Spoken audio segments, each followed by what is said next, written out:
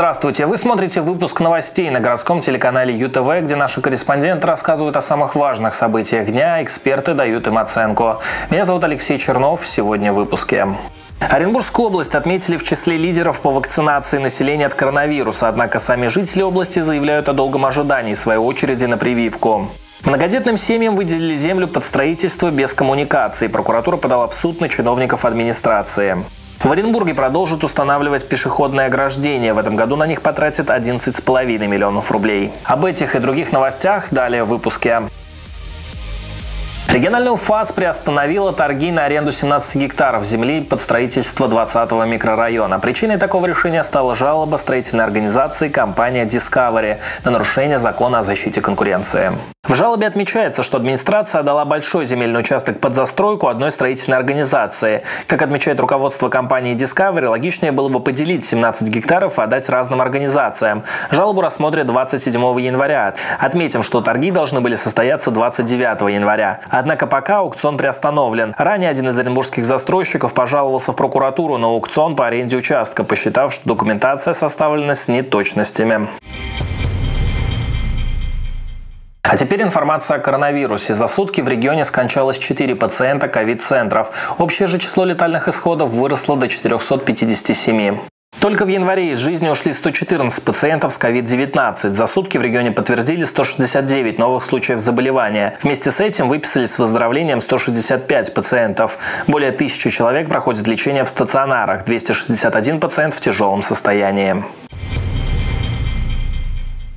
Министр здравоохранения России Михаил Мурашко включил Оренбургскую область в список субъектов, наиболее успешно справляющихся с вакцинацией. Однако не все записавшиеся оренбуржцы успели привиться. Подробности в материале Александра Кацуна. Вакцинация от коронавируса стартовала по всей России 18 января. За это время в нашем регионе успели привиться более 11 тысяч человек. Записалось на получение прививки еще больше людей. Однако пока вакцинироваться удалось не всем. Например, Георгий Житинский ожидает своей очереди уже уже больше недели. Меня направили в мою э, поликлинику. Собственно, там я и записался в регистратуре. В пятницу прошлой недели мне позвонили э, и сказали, что просто элементарно не хватило вакцины на всех желающих. И, соответственно, на этой неделе, в среду, ожидается поступление большой партии вакцины, и, возможно, меня провакцинируют уже на этой неделе. Хотите записаться на вакцинацию? А, да, а можно сначала узнать, э, сколько придется ждать очереди? Неделе вам перезвонят с больницы для уточнения информации. Вакцина сейчас отсутствует, должна скоро поступить. Позвонила я, пообщалась с милой девушкой, которая мне рассказала, что вот э, мы записываем. Да, вот э, я придала свои данные, фамилию, имя, номер телефона и сказала, что в течение суток мне перезвонят. Через полтора дня э, мне никто не перезвонил. Я опять же связалась с оператором 122, она мне объяснила, что вот э, ваш, ваша фамилия в принципе нет в списке, то есть то, что мне раньше записывала девушка, меня не было там. Ольге Ахмадулиной на данный момент не удалось попасть на вакцинацию. Врачи отказали ей, объясняя это наличием противопоказания – аллергии. Хотя, по утверждениям корреспондента, обострений у нее не было. Отметим, министр здравоохранения России Михаил Мурашко похвалил регионы, в которых прививочная кампания проходит на высоком уровне. Хотел бы отметить ряд регионов, которые наиболее хорошо организовали мероприятия по вакцинации. Это Красноярский, Пермский край, Белгородская область, Волгоградская, Калининград, Кировская область, Курганская область, Оренбургская и ряд других. Мы в полном объеме отработали отработали все поступившее лекарство. На этой неделе у нас поступает еще порядка 30 тысяч. И в начале февраля, в феврале мы ждем еще 54 тысячи э, доз вакцин. Отметим, ожидают своей очереди на вакцинацию около 11 тысяч жителей Оренбуржья. Точная дата поступления новой партии «Спутник Ви» остается неизвестной, поэтому желающим привиться от коронавируса остается только ждать. Напомню, записаться на вакцинацию от коронавируса можно по телефону 122. Александр Кацун, Олег Берендеев, городской телеканал ЮТВ. 490 многодетных семей, получивших землю в поселке Пруды, уже 4 года не могут добиться от местных властей проведения водопровода. Некоторые семьи уже построили дома, однако перспектива подключения воды остается туманной. 26 января проблему обсудили на заседании Горсовета. Сдвинется ли ситуация с мертвой точки, разбиралась Валерия Шарова. На данный момент эта площадь должна была уже стать густонаселенным многодетным районом. Однако сейчас здесь только построено 15 домов. Некоторые семьи возвели фундамент. Жители начали строительство с расчетом на то, то, что к 2017 году, как и обещали представители власти, сюда проведут э, электроэнергию и газ, а к 2020 году появится питьевая вода. Однако на январь 2021 года следующая картина. Жители уже построенных домов провели электроэнергию самостоятельно, и цена доходила до 15 тысяч рублей. Газа и воды по-прежнему нет. Выделять участки по льготной программе, согласно федеральному законодательству, должны были сразу с коммуникациями. Жители пытались самостоятельно решить проблему и пробурить собственные скважины. Но из глубины в 70 метров удается получить соленую воду, подходящую только для технических целей. Мы проживаем в собственной квартире, купленной в ипотеку, а строимся по мере возможности. Соответственно, школа, сады и сам поселок нас полностью устраивал. Дальше строится у нас как бы воды нет. Внутренняя отделка подразумевает большое количество воды на штукатурку, на шпаклевку, на заливание полов и всего прочего. Мы в среднем посчитали, на один дом надо 22-25 кубов воды, чтобы просто возвести стены, не говоря уже об отделке. Ну вот пока строим, привозим с поселка. В минувшие выходные с многодетными семьями встретились прокурор Оренбурга, генеральный директор водоканала, депутаты Оренбургского городского совета. Жители считают, что на них наконец-то обратили внимание только после видеообращения к президенту и СМИ. Несмотря на то, что участки находятся в 100 метрах от села Пруды, администрация города нам отвечает, денег нет. А без воды кому нужна эта земля? Пообещал генеральный директор водоканала, что данная существующая сеть, которая идет в поселок, э, запас у него на 30% есть. Две улицы, как он сказал, могут подключить к существующим сетям. Но основная трасса, которая идет до поселка, она весь поселок не потянет. Ближайший источник воды находится в двух километрах. В горсовете же считают, что для данного района необходима своя система водоснабжения. По разным оценкам на создание проекта необходимо около трех миллионов рублей. В бюджете эти деньги не предусмотрены, а без проекта невозможно начать строительство, в котором уже обещало оказать помощь правительства. Эту проблему обсудили в горсовете 26 января. Мы будем э, изыскивать э, средства для того, чтобы э, выполнить качественную проектную документацию. Покажет нам стоимость этих работ. И далее мы будем обращаться, соответственно, под все возможные программы, в первую очередь областные, по выделению средств на реализацию строительства. Разработка документации занимает от 4 до 6 месяцев. На создание водопроводной сети, по различным данным, может понадобиться от 30 до 50 миллионов рублей. Отвечает за годы ожидания городской администрации. Там нам пояснили, что на протяжении нескольких лет сотрудники подавали заявки на получение финансирования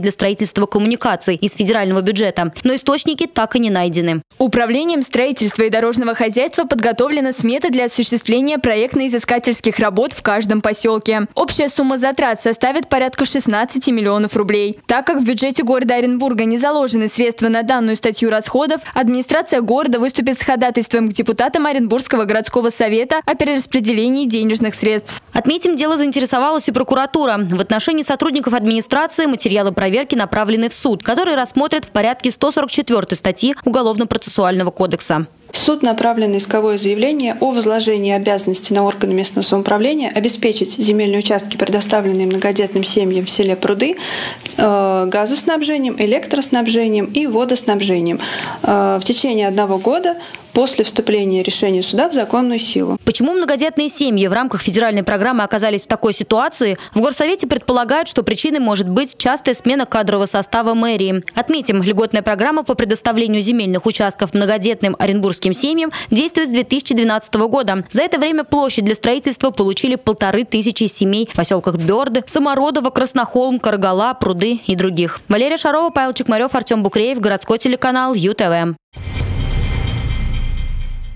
Получение участков по льготной программе для многих семей – выход из решения жилищного вопроса. Однако у правительства не всегда хватает средств на реализацию такой меры поддержки. Так считает председатель организации многодетных родителей «Семейный очаг». Подробнее в рубрике «Экспертное мнение». Неоднократно обращались в органы власти, это были и городские, и муниципальные, и в область обращались с вопросом о том, что земля выдается, но коммуникации на ней нету. И эти обращения всегда как бы сводились к тому, что нет финансирования. Ну, где-то в 2018 году это компенсация, да, деньги стали давать. Конечно, это вариант, мне кажется, лучший. То есть иметь хоть что-то, синицу в руках, чем журавля mm-hmm. в небе, иметь участок и ничего на нем не построить. Хорошо, ребят, но если нет этих денег, вы, вы же понимали, вы давно знаете об этом, что надо. Три года уже вы знаете об этом. Почему за, это, за эти три года, например, со стороны администрации не прозвучало ну, ни одной, скажем, вот в прессе, да, даже, там, у них очень много сейчас социальных сетей, все ведут каналы, э, нигде не прозвучало, ребят, вот у нас есть проблема, мы не можем это решить. Мы там расписываемся в своем бессилии, но мы ждем помощи, например, от областной администрации. Возможно, они нам помогут найти эти деньги. Не прозвучало? Нет. Они полностью замолчали. Журналист телеканала Орен ТВ Анастасия Шахмут считает, что обеспечить земли коммуникации мешает большое количество документации. По ее мнению, решиться этот вопрос мог намного быстрее, если бы правительство активно попросило помощи у инвесторов или федералов. Прозрачности вот нет точные. Вот, например, что на этот участок им вот надо там 36 миллионов называлось, да, на проект, это все проведение, 36 э, миллионов. Таких денег нет в бюджете. А если бы было государственно-частное партнерство, наверное, это был бы хорошим способом решения таких э, проблем, но Пока вот на территории Оренбургской области я, честно говоря, даже не припомню какой-то успешный проект, когда вот э, такое взаимовыгодное сотрудничество было, потому что так или иначе потом начинается перетягивание одеял, или там начинают они э, делить деньги, в общем, кто-то больше сделал, кто-то меньше. Люди уже устали просто на эту тему разговаривать, они устали ждать, они перестали верить в то, что эта земля когда-то будет э, полноценной, не просто участок земли. Получить землю и построиться – это очень дорогое удовольствие. Не каждый каждая многодетная семья может это иметь угу. и может это сделать.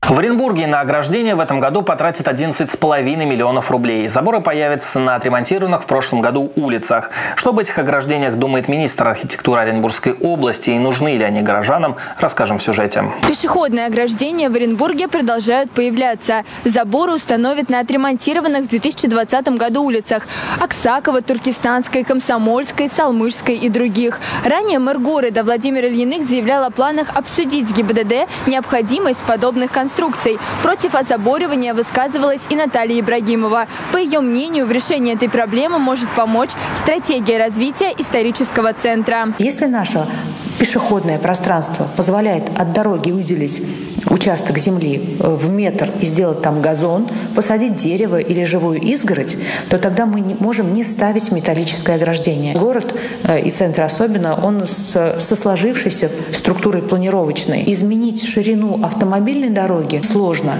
и поэтому пешеходная часть остается маленькой. И метр сделать на газон, отвести оттуда, ну, бывает проблематично. Напомним, ранее в администрации сообщали, что ограждения ставят согласно предписаниям ГИБДД. Без этого невозможно закрыть программу «Безопасные и качественные автомобильные дороги». По данным эксперта ОНФ Ирины Мургуновой, заборы необходимы для того, чтобы пешеходы не выходили на проезжую часть. Ограждения могут представлять опасность для людей, так как при ДТП осколки конструкции попадают в человека. Однако необходимость заборов обусловлена ГОСТами. В УСДХ у главы города есть понимание, что лучше, конечно, высадить растения. Или, допустим, а, в центральной центральной части города устанавливать не, не те кресты, которые установлены у нас уже везде, а применять более какие-то на э, эстетич, эстетически подходящие ограждения. Замена пешеходным ограждением живая изгородь не выше 80 сантиметров сплошной посадкой. Однако не на всех улицах города пешеходное пространство позволяет это сделать. По словам Андрея Чередниченко, нужно найти золотую середину между эстетикой и безопасностью. Подходить более как-то архитектурно, э, как какие-то кованые элементы. Благо в центре сохранились еще примеры дореволюционных заборов, которые можно использовать именно как основу. Если смогут хотя бы заложить там процентов 10-5 от стоимости основного производства на хотя бы изменение внешнего вида заборов, то это будет большой, угу. так сказать, задел. Сейчас такое время, что ну, где-то налить может быть все что угодно. Нашему народу надо всегда какой-то, знаете, указатель дополнительный. Забор-то вообще что есть, что нет. Едут на машинах, там видят, что тут тротуар, забор, тротуар. Необходимы. А почему?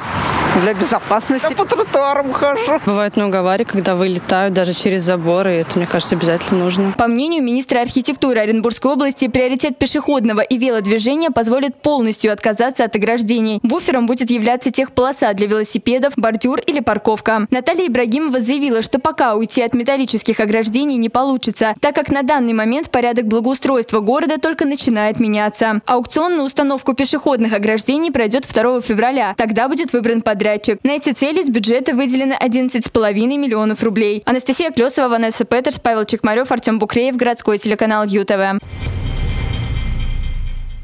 Спасательная служба 112 заработала во всей области. Ранее по этому номеру телефона могли дозвониться только жители Оренбурга и Оренбургского района. Теперь же она доступна для всех жителей области, даже без сим-карты. Система 112 начала свою работу в нашем регионе еще в 2018 году. Теперь, помимо жителей Оренбурга и Оренбургского района, услугой могут воспользоваться люди из любой точки региона. Как сообщили в региональном МЧС, время ожидания ответа оператора составляет от 3 до 5 секунд. Мы должны принять правильно вызов, грамотно, быстро, за определенное количество времени собрать всю информацию, которая важна для дальнейшей передачи в службы, и отправить этот вызов в службу. В основном сложность это в том, что когда заявители звонят и не могут сказать а, своего точного местонахождения. Выясняем, что случилось и какие службы ему необходимо направить. Если это несколько служб, то сразу автоматически мы выставляем все службы. Всего на введение в работу в нашем регионе службы 112 потратили 230 миллионов миллионов рублей. За сутки ее диспетчеры обрабатывают около 2000 вызовов. С начала ввода в эксплуатацию обработано более 800 тысяч вызовов. Отметим, дозвониться по номеру 112 можно даже при нулевом балансе или отсутствии сим-карты. Александр Кацун, Павел Чекмарев, городской телеканал ЮТВ. В Оренбурге заканчивает работу новогодний парк на площади имени Ленина. В этом году бюджет объекта был больше, чем в предыдущем почти в 20 раз. Оценили ли такой масштаб оренбуржцы? Расскажем в сюжете. Новогодний парк на площади имени Ленина заработал в Оренбурге 25 декабря. Изначально предполагалось, что он будет украшать площадь до середины января. Однако Владимир Ильиных принял решение продлить работу городка до конца месяца. Оренбуржцы такой новостью остались довольны. Нам очень нравится зимний городок, удовольны, и всей семьей здесь гуляем с удовольствием каждый день. В этом году действительно получилось создать сказку для горожан. Мне нравится здесь гулять, кататься на горке. Очень здорово вообще, что так придумали, столько всего сделали. И мы на катке в прошлый раз катались, особенно вечером. Очень нравится, очень ярко, симпатично. В этом году площадь Ленина стала основным местом притяжения горожан в период новогодних праздников. Тут установили ледовый городок, горку, ярмарку еды, световые световые инсталляции и главную елку высотой 25 метров. Изменения коснулись не только дизайна, но и бюджета новогоднего оформления. Финансирование увеличили почти в 20 раз. Общая сумма составляет, которую мы потратили непосредственно для площади Ленина около 44 миллионов. А, значит, а, эти средства в основном направлялись на приобретение. Все, что есть на площади Ленина, это имущество города. На горке около 40 тысяч человек уже покатались. На на ледовом корте 7,5 тысяч, то есть только в прокате, то есть те, которые взяли непосредственно в прокате коньки. Таких серьезных затрат некоторые горожане не оценили. Многие в социальных сетях заметили неразумность размаха в период пандемии, когда горожан призывали оставаться дома. У нас есть и другие какие-то проблемы, э, в том числе в областном центре. Наверное, можно было бы сделать э, не то чтобы поскромнее, поскромнее. Часть из этих 58 миллионов рублей, наверное, можно было потратить я не знаю, на много всего в нашем городе, как минимум на обустройство, да, либо на приведение в порядок вот этих вот исторических зданий, которые стоят полуразрушенными, да, и, пожалуйста, забот у нас в городе много. Если это бюджетные расходы, то, конечно, они совершенно не оправданы, я не понимаю, куда такие деньги, собственно, улетели. Если же это предприятия и спонсорские как бы, средства, то ну, как мы здесь можем э, запретить, если там бизнес хочет сделать подарок городу, да хоть там 200 миллионов, ну это же его дело, это бизнес как бы я всегда рад. Допустим, сквер возле Дома Совета, где был, э, формировался ледовый городок. Его делал полностью «Газпром». Главные э, вот эти елки большие, все красивые наши, э, тоже за счет предприятий крупных, в том числе и государственных. В целом, оренбуржцы и гости города остались довольны новогодним убранством. В мэрии отметили, что постараются держать планку и в следующем году, однако заверили, что таких финансовых вложений уже не потребуется, ведь закупленные материалы останутся в собственности города и в дальнейшем будут использоваться для проведения городских мероприятий. Также Дмитрий Бес упомянул, что после демонтажа новогодних конструкций площадь останется пешеходной. Анастасия Нетужилова, Артем Букреев, Павел Павел Чекмарев, городской телеканал ЮТВ. На этом у меня все. Еще больше новостей смотрите на нашем сайте utv.ru. Если у вас возникли вопросы или вы хотите поделиться своими новостями, звоните по номеру телефона 430045. С вами был Алексей Чернов. Оставайтесь на ЮТВ.